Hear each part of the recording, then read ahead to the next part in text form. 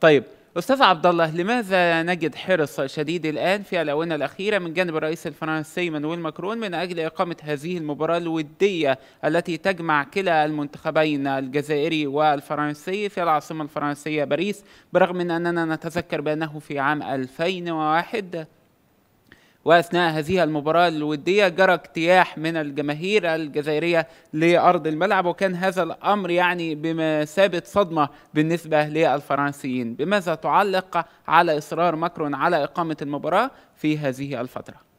آه شيخي عبد الحميد كشك عليه رضوان الله هذا الشيخ الذي كان له أثر كبير في في إعادة بعث الصحوة الإسلامية في الجزائر رحمة الله عليه. الشيخ كشك في المسجد سأله شاب قال له يا مولانا آه أي الأديان الأكثر انتشارا في الأرض؟ الإسلام النصرانية البوذية. قال له لا يا بني أنت مخطئ. الدين الأكثر انتشارا فوق الأرض هو كرة القدم.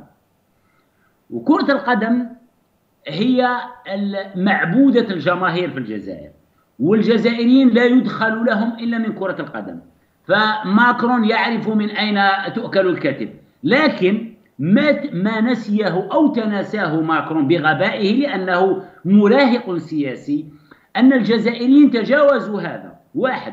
ثانيا أن الشعب الجزائري عندما تكون بلده يعني محل محل مساومة لا يعرف لا كرة ولا جيدو ولا كاراتي يعني كل هذا سيكون لا لا يكترث له الجزائريون أبدا. الجزائريون يعرفون أنه ليست كرة القدم هي التي ستصلح ما أفد ما أفسده الاستعمار وهي لي وهي ولن تكون هي التي تهدئ الذاكرة بالمناسبة. هذه الزيارة سماها ماكرون زيارة تهدئة الذاكرة وسماها الإعلام الفرنسي زيارة الشباب.